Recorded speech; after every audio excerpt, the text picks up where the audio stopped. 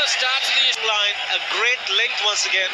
Batsman at two miles, a little bit of deviation into Virendra Sehwag and Timber.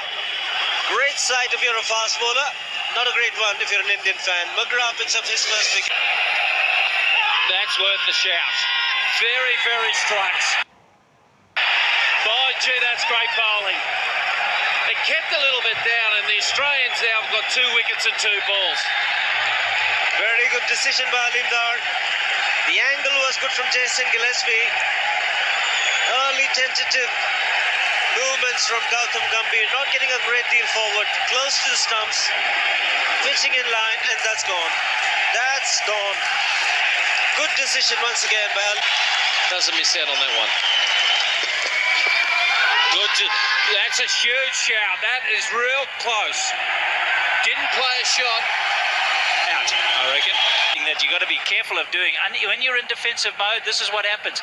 You're looking for survival, and suddenly one's nipped one back. But he's not playing a shot, so outside the line doesn't matter. Boy. That's a big appeal, and now he's gone, I believe, but it's gone the other side. The off stump, and I tell you what,